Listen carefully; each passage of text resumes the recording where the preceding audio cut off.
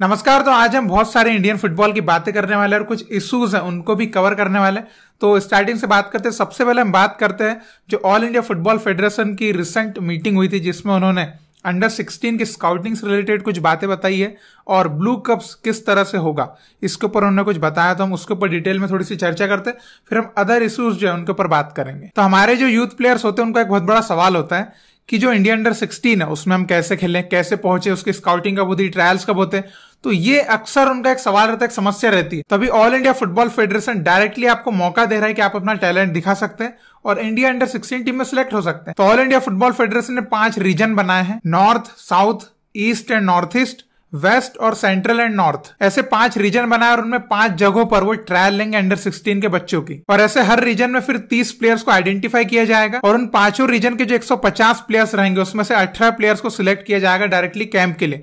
और कैंप में फिर उन प्लेयर्स का ट्रायल होगा, उनका मैचेस होंगे और फिर उनमें से जो प्लेयर्स है, उनको डायरेक्टली इंडिया अंडर 16 की टीम में सिलेक्ट किया जाएगा, जो कि अंडर 16 सेफ़ चैंपियनशिप खेलने वाली है। तो इसकी जो डेट्स है, आपको बहुत जल्द पता चल जाएगी तो आप एकदम प्रिपेयर रहेगा जो भी अंडर 16 के प्लेयर्स है, बहुत जल्द आपके नज़दीक ही ट्रायल आने वाली है डायरेक्टली इंडिया टीम की। अब हम बात करते हैं कि ब्लू कप्स में किस तरह की स्ट्रेटेजी सोची ऑल इंडिया फुटबॉल फेडरेशन ने कि कैसे बच्चों को डेवलप किया जाएगा। तो उन्होंने डिफरेंट एज ग्रुप्स के किस तरह के कॉम्पिटिशन रहेंगे, किस तरह की टाइमिंग्स उनमें रहेगी, इसके ऊपर फोकस किया है। तो जो ग्रास रूट लेवल के कॉम्पिटिशन रहेंगे, वो फाइव वर्सेस फाइव रहेंगे और जो अंडर थर्टीन के कॉम्पिटिशन रहेंगे, वो सेवन वर्सेस सेवन रहेंगे। और इनमें टाइमिंग रहेगी पच्चीस मिनट का एक हाफ़ और अंडर फिफ्टीन जो रहेगा, वो नाइन वर्सेस नाइन रहेगा और इसमें थर्टी फाइव मिनट का एक हाफ़ रहेगा। और जो अंडर सेवनटीन रहेगा, वो फुल साइज़ रहेगा इलेवन वर्सेज इलेवन और ये चालीस मिनट का हाफ़ खेला जाएगा एक। तो देखिए किस तरह की एज में कितना गेम टाइम देना किस तरह का फ़ील्ड साइज़ रखना किस तरह के नंबर्स खिलाना इसके ऊपर ऑल इंडिया फुटबॉल फेडरेशन ने सोचा ताकि टैलेंट जो है, उनको नर्चर किया जा सके, उनको डेवलप किया जा सके और नए टैलेंट्स आइडेंटिफाई भी किए जा सके। तो ये एक बहुत अच्छा डिसीज़न आई होप कि इससे ग्रास रूट लेवल से फिर यूथ लेवल पर और उसके बाद सीनियर लेवल तक प्लेयर हमको अच्छे से डेवलप होते हुए दिखेंगे। इसके बाद एक टेम्पररी फैसला भी लिया ऑल इंडिया फुटबॉल फेडरेशन ने, जैसे कि अंडर ट्वेंटी के भी कोई टूर्नामेंट नहीं है। तो उन्होंने अंडर ट्वेंटी टीम को भी फ़िलहाल के लिए बंद कर दिया और जितने भी प्लेयर्स हैं, उनको अपने अपने क्लब में भेज दिया और वहाँ पर ट्रेनिंग करने के लिए कहा है। तो ये भी ठीक है ना? फालतू का पैसा क्यों इन्वेस्ट करें? अंडर ट्वेंटी का कोई टूर्नामेंट तो है नहीं। तो अपने क्लब में खेलेंगे, वो ज़्यादा बेटर है और जब होगा टूर्नामेंट तब कैंप वगैरह लगेंगे तो वो भी बेटर है। तो ये भी एक अच्छा डिसीज़न है। इसके बाद मैं थोड़ी सी बुरी बात भी करना चाहूँगा। सबसे पहले देखिए इंडिया टीम में फिर से दो प्लेयर्स इंजर्ड हो गए लाचेनपा और सुरेश और देखिए, ये दोनों एक की प्लेयर्स में से एक थे। लाचेनपा बोलेंगे तो एकदम फॉर्म में चल रहे थे भाई कीपर है ना? वो आउट हो गए। तभी गुरमीत सिंह जो हैदराबाद एफ़ के प्लेयर है, उनको उनकी जगह पर बुलाया गया। और सुरेश सुरेश भाई की प्लेयर होते हैं मतलब मिड में की प्लेयर के रूप में देखे जाते हैं सुरेश। अभी वो आउट हो गया ठीक है? तो ये एक झटका है इंडियन टीम को, क्योंकि सुरेश एक ऐसे प्लेयर जो प्लेइंग इलेवन के प्लेयर हैं। ही इज़ नॉट सब वाला प्लेयर वो प्लेइंग इलेवन का प्लेयर अभी वो बाहर हो गया। तो ये एक भैया झटका लगा इंडियन टीम को, ठीक है? तो अभी इंटर कॉन्टिनेंटल कप का है या सेफ़ कप का है इसमें थोड़ा सा मिडफील्ड में मसला फिर से आपको देखने को मिल सकता है। ये मैं अभी से बोल दे रहा हूँ, ठीक है? तो अभी ये दो प्लेयर आउट हो गए। गुरमीत को इन किया है और किसी को इन करेंगे कि नहीं करेंगे, ये पता है नहीं, ठीक है? इसके बाद एक और बुरी खबर आ रही है केरल से। आपको पता है कि गोकुलम केरला जो क्लब है, उनका जो ग्राउंड है, कौन सा ग्राउंड है? ईएमएस स्टेडियम जो कि कोजिकोड कॉर्पोरेशन के अंडर में आता है। अभी कोजिकोड कॉर्पोरेशन जो ये बोल रहा है कि हम आपके साथ कॉन्ट्रैक्ट रिन्यू नहीं करेंगे स्टेडियम के लिए। तो सोचिए, ये कितनी गलत बात हो जाएगी। तो अभी जो गोकुलम केरला के ओनर है। उनका सीधा ये कहना है, भाई, हम आठ करोड़ रुपए खर्च करते हैं हमारी टीम के ऊपर पूरे साल में, ठीक है? और अभी जो हमको गवर्नमेंट है, सपोर्ट नहीं कर रही है स्टेडियम के लिए। तो क्या करें हम? मतलब वो तो ये बोल रहे कि हम भाई फिर दूसरे स्टेट में चले जाते खेलने के लिए।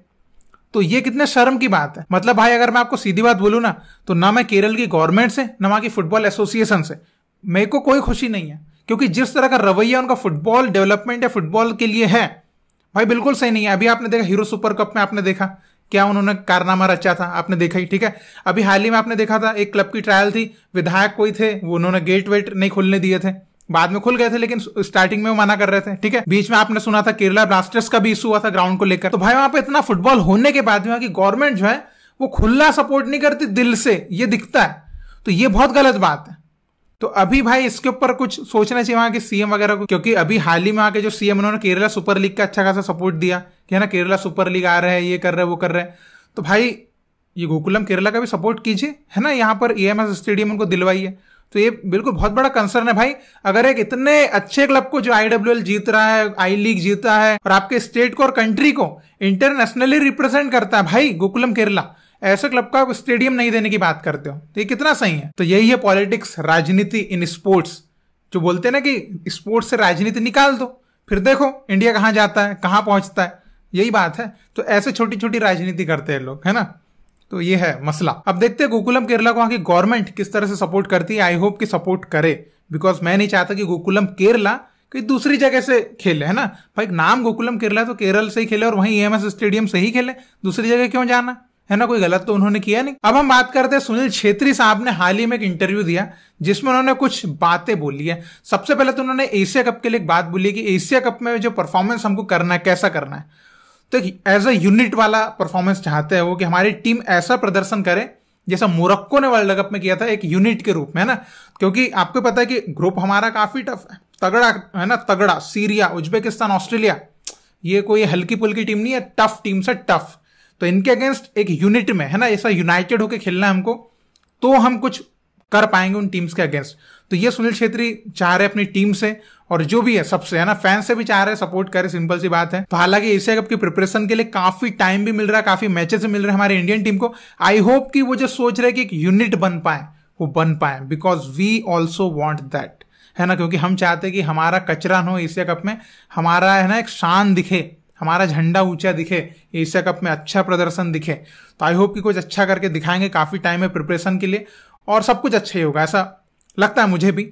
तो देखते हैं क्या होता है, और एक और चीज़ बोली है सुनील छेत्री ने, क्योंकि आपको पता है कि जो सेफ़ कंट्रीज़ है, आप श्रीलंका की बात करें, अफ़गानिस्तान तो चलो चला गया। अभी आप पाकिस्तान को देख ले, ये लोग बाहर के जो प्लेयर्स हैं, उनके ओरिजिन के प्लेयर्स है, पाकिस्तानी ओरिजिन उनको बुला रहे अपनी कंट्री से खेलने के लिए, ठीक है? तो इसके ऊपर सुनील छेत्री साहब ने पहली बार अपना जो है पॉइंट ऑफ़ व्यू दिया है कि देखिए, ये बहुत अच्छी बात है, अगर आपने बेस्ट प्लेयर्स जो बाहर रहते हैं, अगर उनको बुला के खिलाते हैं तो इंप्रूवमेंट के लिए बहुत अच्छा है शॉर्ट टर्म इंप्रूवमेंट के लिए भी अच्छा है, और लॉन्ग टर्म के लिए तो आपको, आपके कंट्री के लोकल प्लेयर्स उनको ही बढ़ाना पड़ेगा। लेकिन कहीं ना कहीं इससे क्या होगा कि शॉर्ट टर्म में टीम जो है जल्दी से इंप्रूव हो जाएगी, जो कि कहीं ना कहीं फुटबॉल की पॉपुलरिटी को इंक्रीज करेगी। तो बिल्कुल कह दिया है सुनील छेत्री साहब ने भी इस चीज़ को। तो जितनी भी चीज़ें हमने कवर करी आप क्या कहते हैं इन चीज़ों पर? जो भी आप कहना चाहें, ज़रूर कमेंट में लिख के बताइएगा और इसी तरह भारतीय फुटबॉल को सपोर्ट करते रहिए। बहुत बहुत शुक्रिया वीडियो देखने के लिए। जय हिंद, जय भारत।